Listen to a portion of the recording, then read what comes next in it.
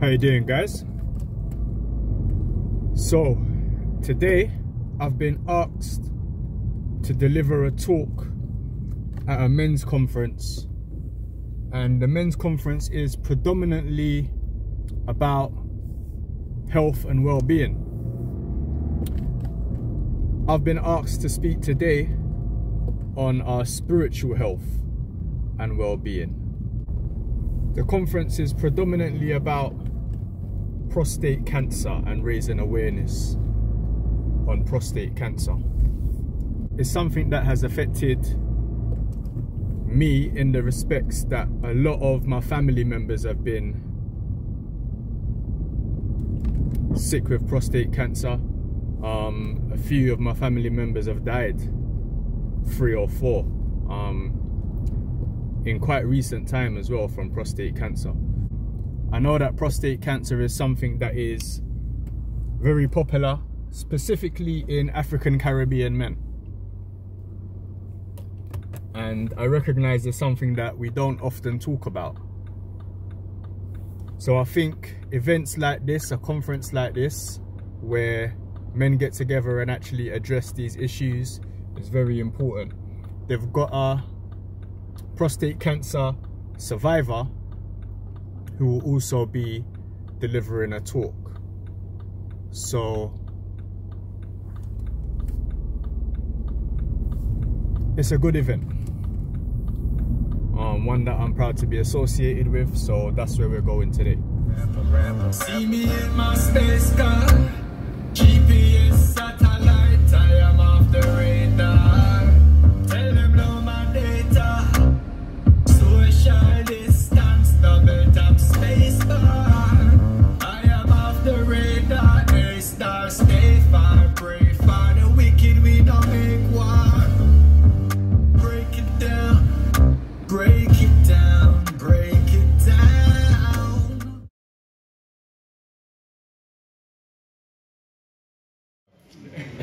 Good afternoon, men. Good. It's a pleasure to be here. As Ned said, my name is Daniel Douglas. I'm married. I've got four children. Um, I work for London City Mission. I'm also an elder at Calvary Chapel, East Dulwich. Um, over the past year and a half, we've been working with Lordship Lane Baptist Church. I've spoken there numerous occasions, and I'm very fond of the church community that meet here. Today we're going to be looking at health and well-being as we have been, with a focus on prostate cancer, something that is very important but not spoken about enough. I'm sure we've all been affected by this in one way or another. It's something that is very common in African and Caribbean men. I myself have lost three uncles to prostate cancer. So I've been asked today to talk about our spiritual well-being. The human body is an amazing creation. The Bible says that we are God's masterpiece, God's workmanship. In Greek, the word is his poema, which is where we get our English word poem. We are God's poem. The human body is incredibly resilient, and yet it is incredibly fragile. We can be fit and healthy today, and then out of nowhere, we can start to fall apart tomorrow. Now, the Bible also tells us that we are made in God's image. God exists as Father, Son, and Spirit. And we are body, soul, and spirit. You are a spirit, you have a soul, and you live in a body. Your spirit is your existence. It's what leaves your body when you die, along with your soul. The soul, I believe to be our mind, our will, and our emotions. Now, these things are eternal and they don't die, whereas flesh and blood is only for a season and it does that. The Bible tells us in 1 Corinthians chapter 15, verse 15, Now I say this, brethren, that flesh and blood cannot inherit the kingdom of God, nor does corruption inherit incorruption. The bodies we have now, one day, will see corruption. They will perish. Genesis chapter 3, verse 19 tells us, In the sweat of your face you shall eat bread till you return to the ground. For out of it you were taken, for dust you are, and to dust you shall return. Having healed numerous people in his time on earth, the Lord Jesus is widely known as the great physician, famously saying in Mark's Gospel, It is not the healthy who need a doctor, but the sick. I have not come to call the righteous, but sinners. Now we're all born into sin. The Bible says all have sinned and fallen short of the glory of God. So by Jesus' reasoning, we all suffer with the sickness of sin. Of that, only he has the cure for. Jesus said he came that one should have life and have life more abundantly, a full life in Christ Jesus. The church is called the body of Christ, and it is like a spiritual hospital, a place where people who recognize that they're sick, sick with sin, gather as God's people for spiritual healing, for restoration, for their spiritual well being.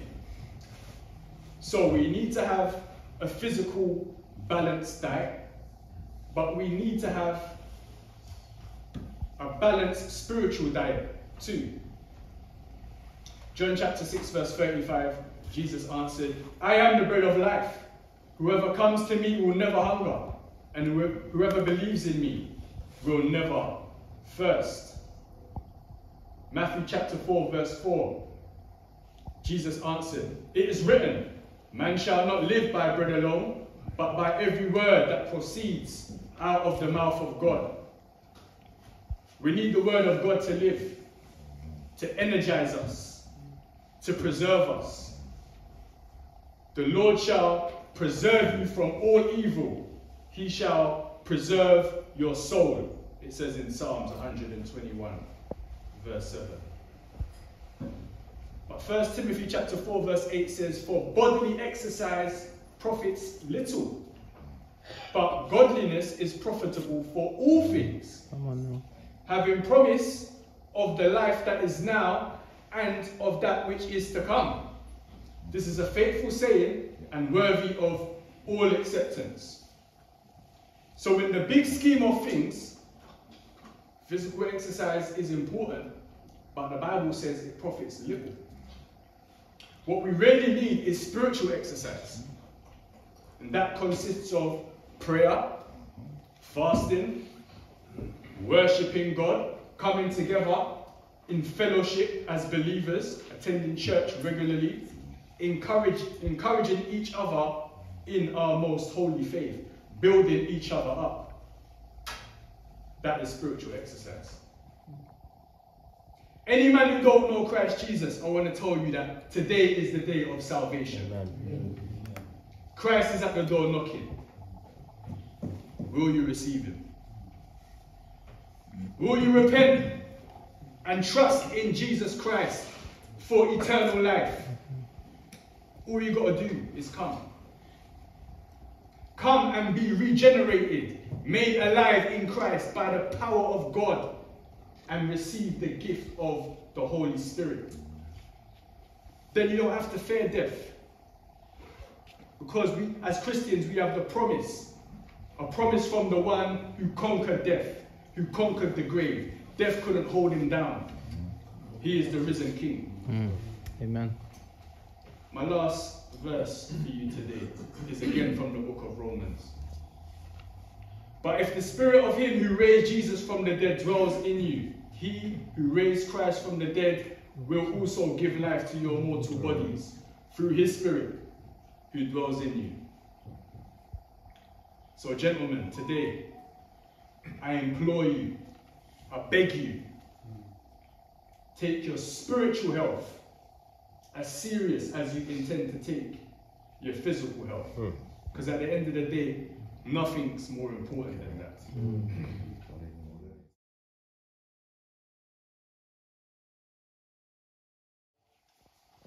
we're going to talk about prostate cancer.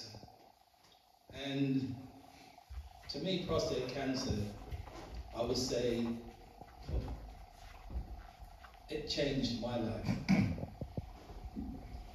Where do I begin? I was generally very fit, as we heard about fitness today.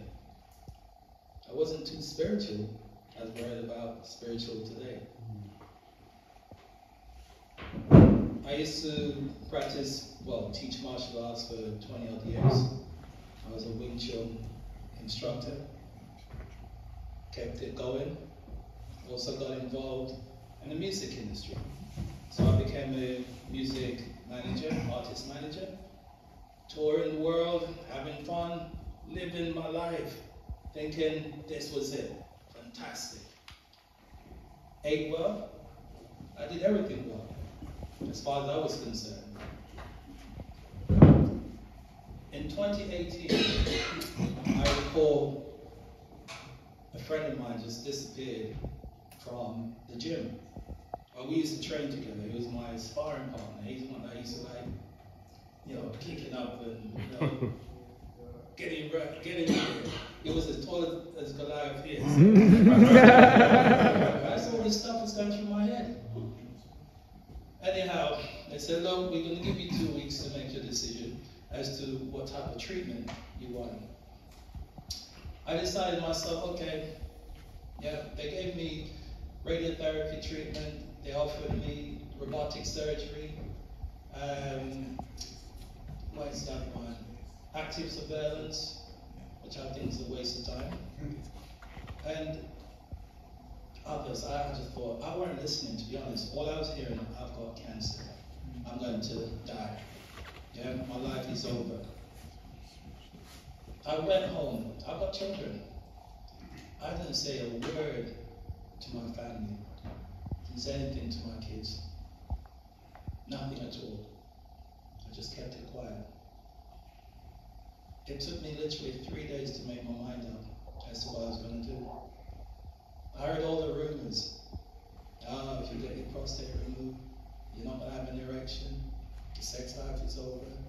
You'll be wetting yourself for the rest of your life.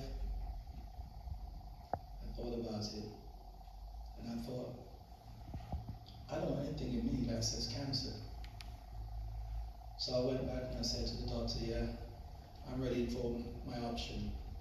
I want to have it removed. Pass two. My intestine just wasn't happening. So I thought everything they gave me, you know, wasn't working.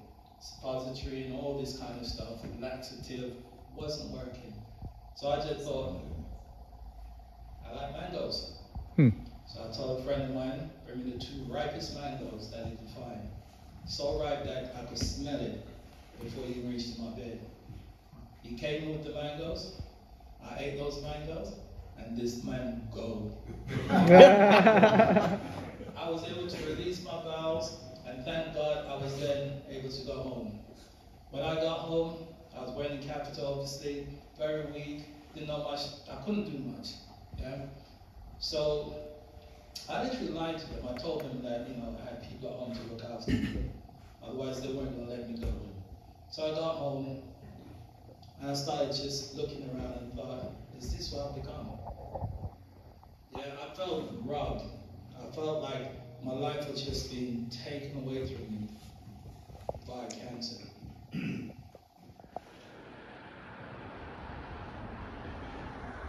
yeah, just leaving the conference and it was powerful, man. It was a powerful conference.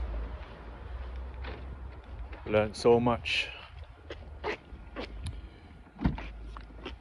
So many people talking and inspiring and the information.